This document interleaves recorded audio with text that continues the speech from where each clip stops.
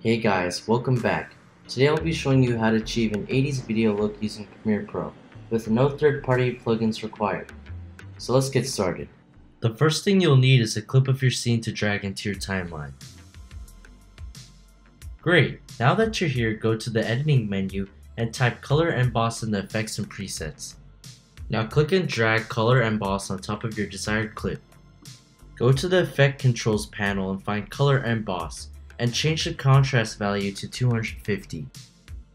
You should now notice your clip looking sharper than it was originally. This will be a key part towards adding other effects later. To make a true 80s effect, we're going to need to add an RGB offset. To do that, search color balance and effects and add it to your clip. Once you're done with that, go to the effect controls panel and change the blend mode to linear dodge, or add.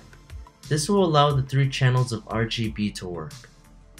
Now duplicate your clip two times by holding option and dragging up. Go back to your effects panel and change the red and green value to 0, leaving blue at 100.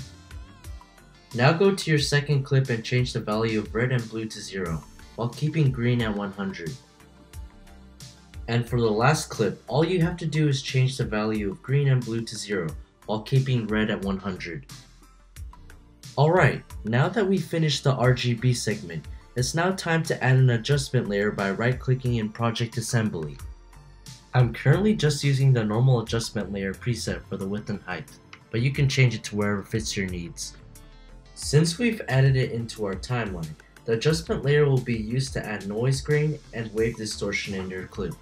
To do this, simply type in noise and effects and add it to your clip. Once you're done with that, go to effect controls and change the amount of noise to 20. The second thing we'll need to add is a wave displacement, which will help pull off the 80s VHS effect.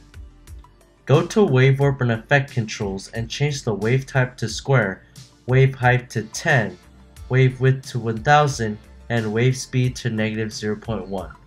Oh, and also remember to pin all the edges. On clip 1, change the position to 955. On clip 2, change the position to 960. And finally, change the position for clip 3 to 969. We're now almost done pulling off the 80s VHS look. All we need to do now is color grade. So go to the color grading window and change the temperature down to a bluish color. Since I was originally working with neutral looking footage, you may want to play around with the highlights and the black and whites. And this ends our tutorial. Thanks for watching guys and remember to like and subscribe for more content.